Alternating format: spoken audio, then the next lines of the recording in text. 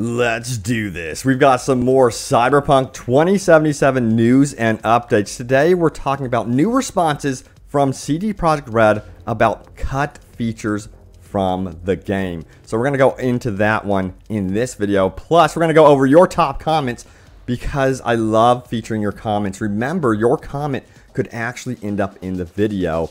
So be sure to post a comment down below. Then we're going to be talking about amazing door animations and vehicles in this game. We're going to be also talking about how your car can actually get hacked. So a lot of cool stuff to go over. So let's do this. Welcome back, everyone. Open World Games here. Hope everyone is doing good today. And I know you're probably counting down the days to Cyberpunk 2077's release. I know I am over here.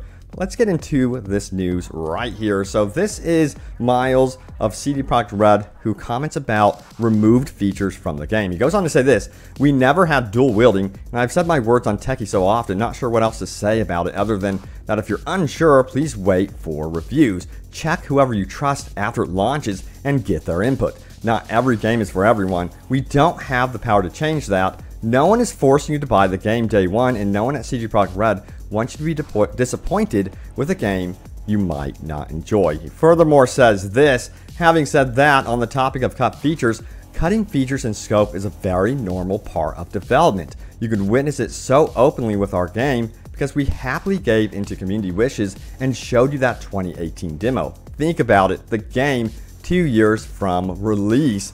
Of course, we iterate and change stuff, and of course, we also will have ideas that sound great on paper, but then doesn't end up working out well in the game with all the other features. And that completely makes sense right there. He goes on to say, Witcher 3, we also cut a ton of stuff, but in the end, all of it made the game better. Now, I understand this is disappointing for everyone when it happens, and also difficult to understand without all the context of development environment. But in this case, I just kindly ask you for your trust. Just look at the stories of so many other games you might enjoy. Believe me when I say that during their development, some loved features also were cut, and you still enjoy them today. Maybe even because of the cuts. In the end, it is all about how much fun the game and its systems provide you and are and we are doing our best to make sure it is as great of an experience as it can be. Sometimes for that, you have to make some hard decisions, and this time around, you were here to witness it. And of course, he's referring uh, to some of these features uh, that were cut, like wall running, vehicle customization isn't going to be in the game at launch. There was uh, some sort of bot companion that didn't make it into the game. The subway, third person cutscenes, which a lot of you guys want to see your character in third person. So pretty much uh, third person cutscenes are not going to be in the game. You're going to be experiencing this game from first person uh, only. Did I say first person? So third person cutscenes are not going to be in the game. But you're going to be experiencing the game from first person only. But yeah, you know, that's development. You know, things get cut, pushed around.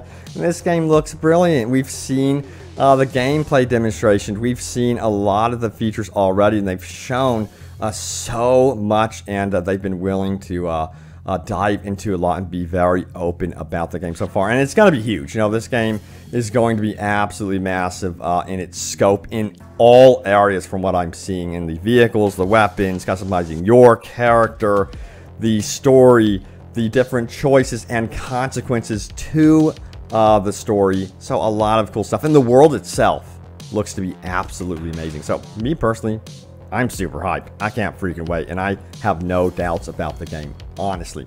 All right, so let's keep going, shall we? I think we should. Yes, we should. So let's do this. Okay, so the next news here, uh, check this out right here. This is really cool. So this was posted recently on Reddit showing off the door animations in Cyberpunk 2077, and they're freaking badass. So you're to be able to get some amazing cars, of course, in a wide variety of different uh, styles.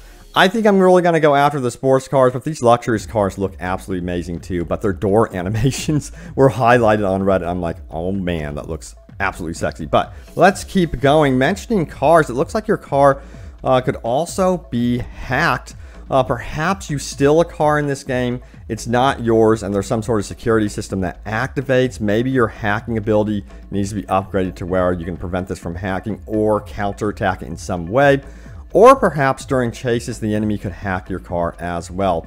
And there's the other theory that, hey, your car might actually just be damaged. But the way he's maneuvering and struggling uh, with this car, it looks like to me uh, that it has been hacked. So it looks like that could actually be uh, something that you can you can be experiencing in this game. So look out.